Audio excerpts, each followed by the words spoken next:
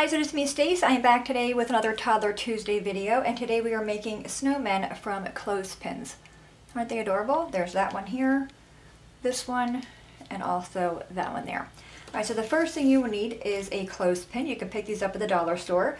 I did go ahead and paint it white by using this Apple Barrel white paint, and that is here. Next you will need a black marker. We're going to use this to draw on the buttons and also the eyes and the mouth. Okay, so we have their buttons there. I'm going to flip it over so I have the smaller part of the clothespin. Draw two little dots for the eyes. And then just take the marker and kind of dot it for the mouth. Not fun? Alright. Now, if you want to, you can either use an orange marker to draw on the nose, or you can use some orange felt. I'm going to go ahead and use that. I'm just going to take a little corner of it and cut a little triangle. So we have that. All right, next I want to take another piece of felt. If you want to, you can use ribbon, you can use um, twine, felt, fabric, what have you, to tie a little scarf on them.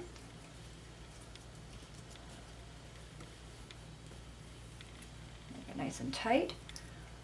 Get it how you like it, then go in and clip off the ends. All right, so now that you have a scarf, I'm gonna go grab my glue. I'm using Aleene's Tacky Glue. I'm gonna put a little dollop there for our nose. And then glue that on. Isn't that adorable and so easy?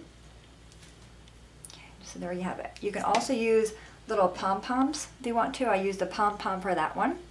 So your pick, you can use pom-poms, you can use felt, you can also use construction paper if you want to for the nose, or like I said, just take an orange marker and draw it in. And they do clip, you take them and open them up, they will clip on a thing. So super cute. Alright guys, there you have it. Today's Toddler Tuesday Clothespin Snowmen. Aren't they adorable? Alright guys, any questions at all, please let me know. As always, thanks so much for watching. Have a great day, and I'll see you guys next time.